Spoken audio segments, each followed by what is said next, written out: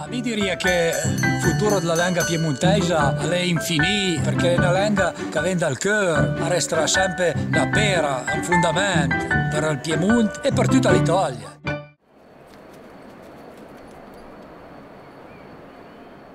I primi anni di lavoro qui sono stati molto particolari sicuramente perché il borgo di Gesh era abbandonato da oltre 100 anni. La sensazione era più quella di essere pionieri in, in, un luogo che effettivamente era stato abbandonato. Lentamente, eh, cercando anche di avvicinarsi con una certa dolcezza agli spazi e al luogo, abbiamo provato a capire come eh, si è evoluto nei secoli, quindi è stato un lente, graduale avvicinamento al, al luogo.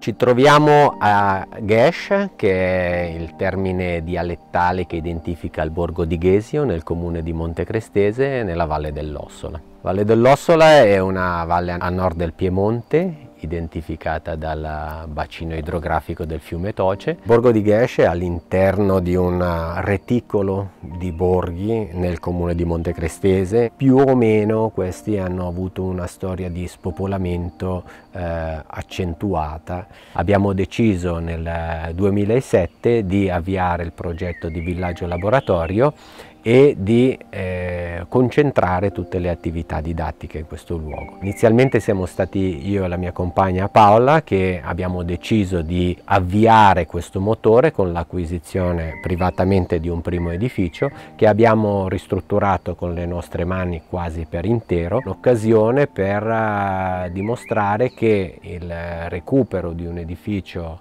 eh, tradizionale è fattibile e può dare una prospettiva di vita anche a costi inferiori rispetto ad altri formati più, più classici.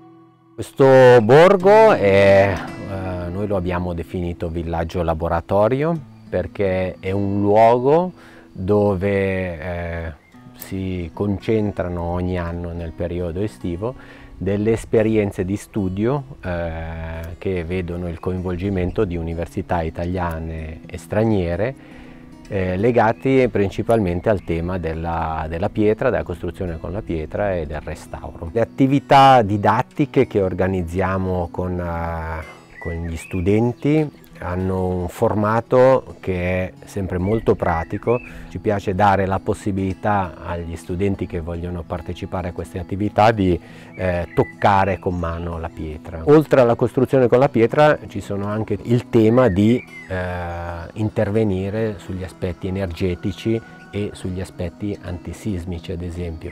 C'è un evolvere, un'energia e un desiderio di lavorare assieme e anche di realizzare qualcosa con le proprie mani che va crescendo dai primi giorni fino alla fine del, del corso e ritengo che questo sia una, un aspetto molto affascinante di questa esperienza. Ti può insegnare il significato del realizzare o di ricostruire qualcosa all'interno soprattutto di un gruppo.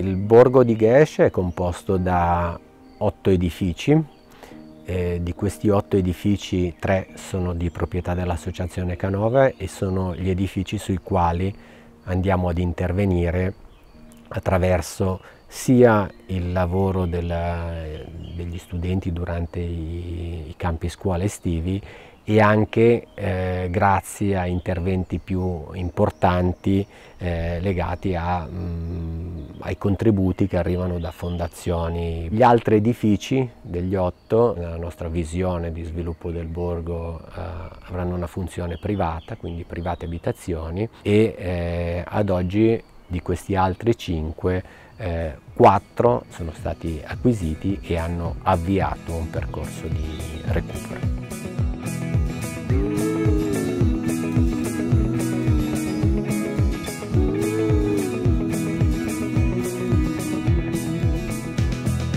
Per me l'Italia che cambia è il concretizzarsi dell'era della consapevolezza.